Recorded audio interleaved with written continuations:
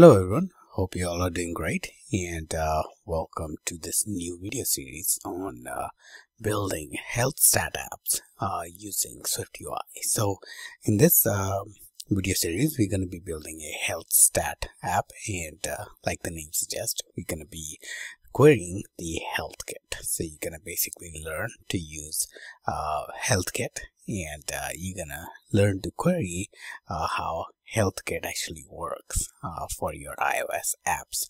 And uh, what we're gonna be doing is uh, First of all, the uh, UI is uh, going to be on SwiftUI.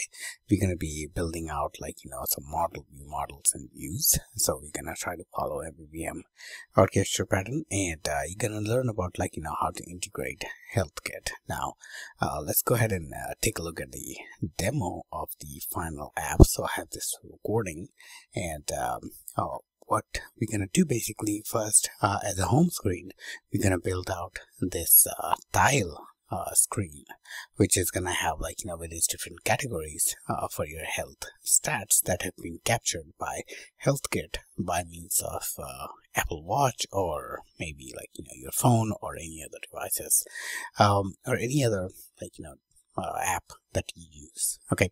So uh, you can have like you know active calorie burned exercise time stand time distance walking step count. Uh, these are not all.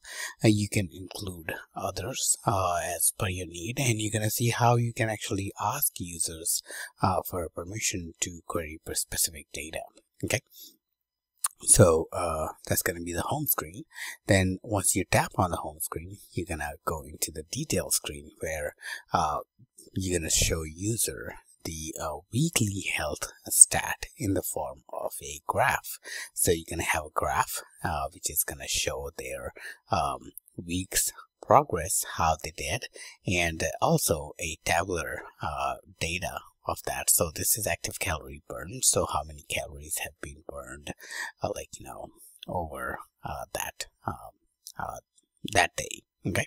And we're going to be representing like, you know, that in a graph. So we're going to build this chart view, um, in SwiftUI itself. And then you're going to have the, uh, the, the list at the bottom displaying the, uh, data okay and uh, as you can see there are some empty empty cells and those are actually to show how you can handle empty states so similar fashion uh, all the others are gonna go um, have like in a, detail view and it's going to display data pertaining to that particular category. So for example, this is going to be the steps and uh, as you can see, the, uh, the type of the data changes and uh, uh we actually show like, you know, uh, right here, we show, for example, distance walking or running like in miles. So you're to see like, you know, how you can uh, massage data to display it within your app.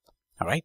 So yeah, so this is to be the entire uh, app that you're going to be building um, and there's a lot uh, that's actually uh, going to go in here um, not only including HealthKit but SwiftUI so uh, I hope you are excited. So let's go ahead and hop in and uh, get started with this uh, video series